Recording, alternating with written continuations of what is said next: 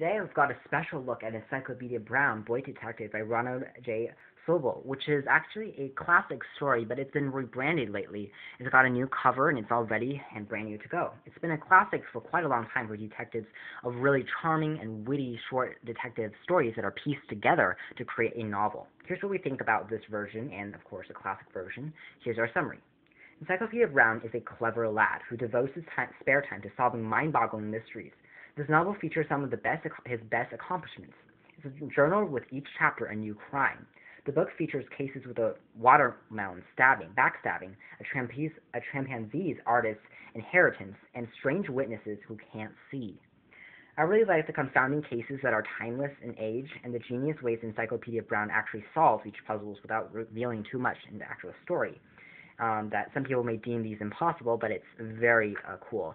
And how each chapter is like a different math problem, it's really interesting.